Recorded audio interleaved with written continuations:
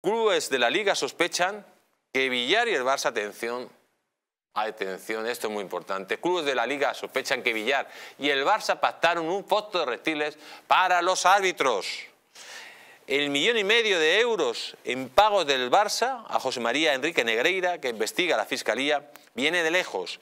Dentro de la Liga se sospecha de un presunto fondo de reptiles acordado entre la antigua cúpula de la Real Federación Española de Fútbol, de la que dependían los árbitros, y el club Blaugrana, que llegó a pagar 7 millones de euros al número 2 del arbitraje entre los años 2001 y 2018.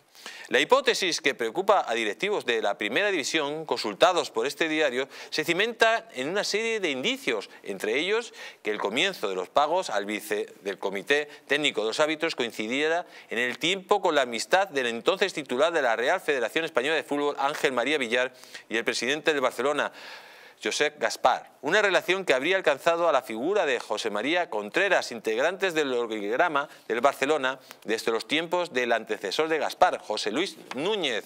El papel de Contreras como presunto intermediario en los pagos del Barcelona a Negreira y el hecho de que los mismos se dieran con el correr de las distancias, de las distintas... Eh, directivas, desde la de Gaspar hasta la de Bartomeu, pasa por la de Joan Laporta, son otros de los indicios en la misma dirección. Contreras, miembro de la Junta Directiva de la Federación Catalana entre el año 2011 y 2014, fue durante muchos años el hombre de Villar en Cataluña y quien le iba a buscar al aeropuerto, según señalan fuentes conocedoras de las partes. Gaspar, en tanto, apoyó sin fisuras a Villar, quien le acabó nombrando como vicepresidente de la Real Federación Española de Fútbol en 2004.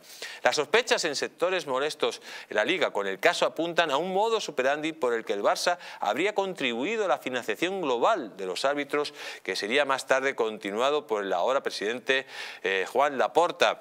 Los indicios apuntan a que esto puede haber comenzado con un fondo de reptiles entre la Real Federación Española de Fútbol de Villar y el Barça de Gaspar, lo que explicaría por qué se mantuvo tantos años. Si bien no se habría buscado beneficios deportivos directos, sí quizá que los árbitros estuvieran conformes y viceversa.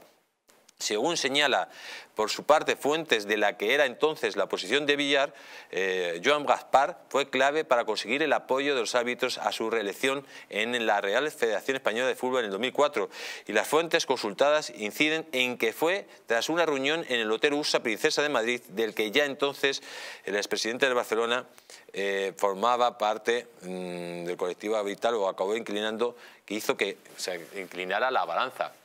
Bueno, pues yo creo que blanco y en botella. O sea, si Gaspar formaba parte, formó parte de la, de la, de la Real Federación Española de Fútbol, si estaba alineado con, con Villar, si los, el colectivo de los árbitros le ayudaron a Villar a ser presidente, pues esto nos lleva a una conclusión. ¿Se acuerdan del Villarato? Cuando se hablaba de Villarato. Sí, es que es evidente.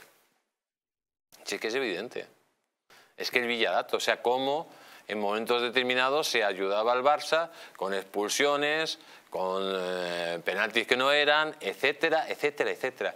¿Y por qué hablamos de esto? Porque lo que pasa con el Barça es lo que pasa en Cataluña en general, no con los catalanes, sino con los políticos catalanes, en el sentido de que allí no hay ley, no hay ley ni orden, es la ley que imponen los independentistas, donde forma parte de, esos grupos, forma parte el Fútbol Club Barcelona, que es el banderín del independentismo.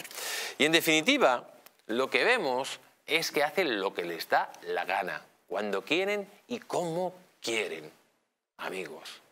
Y si el fútbol español permite este fraude, si el fútbol español lo permite, pues evidentemente, evidentemente tendremos una liga corrupta, una liga corrupta y una liga viciada donde un equipo pues gana por decreto y por la ayuda de determinados árboles, de determinados árbitros.